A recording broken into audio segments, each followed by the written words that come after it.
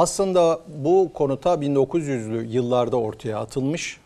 Ee, Peter Adamo denilen bir bilim adamı tarafından ciddi araştırmalar yapılmış ve hakikaten beslenme şeklinin kan grubuyla alakalı olduğu ve yenilen gıdalarla o kişinin kan grubu e, arasında bir kimyasal reaksiyon olduğu ona göre daha kolay kilo verip daha kolay kilo alacağı hipotezi üzerinden hareket edilmiş. Daha sonra uzun yıllar bu konu e, tartışılmış ama üzerinde durulmamış. Buna çok karşı çıkılmış. Bunu kesin çizgilerle ayırmanın mümkün olmadığı karşı görüşleri e, savunulmuş. Hakikaten de bu doğru. Yalnız burada benim dikkatimi çeken önemli olan bazı noktalar var.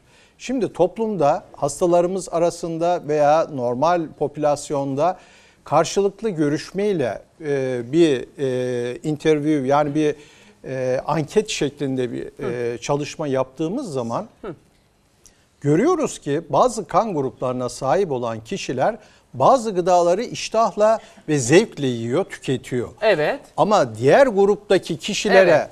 atıyorum süt ürünlerini verdiğin zaman ne yoğurdu iş, iştahla yiyor ne sütü iyi tüketiyor. Ha. Ya ben bu diyor benim mideme ekşitiyor şöyle yapıyor böyle yapıyor diyor.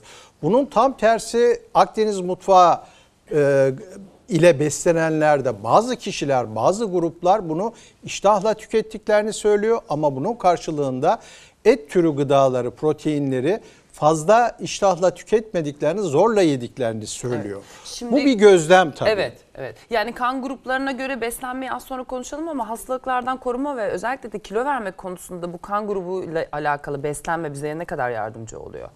Şimdi bunun bilimsel bir kanıtı gösterilmedi Bu neden bir kadar. seçim olmalı ya da diye sorayım. Evet.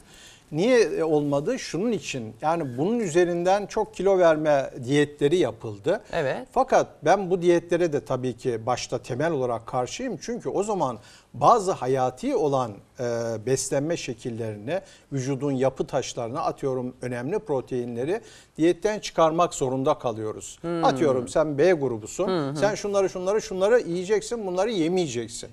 Yapılan çalışmalarda görüldü ki bu kadar kesin çizgiler yok. Yok. Ama şu var.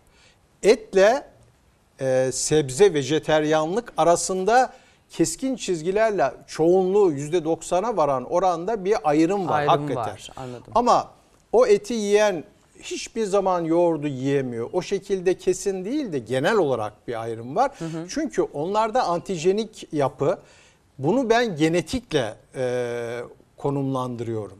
Aslında kişiye göre beslenme diyoruz ya şimdi çok konuşuyoruz. Evet. Bu kişiye göre beslenme kişinin genetik yapısına göre beslenme.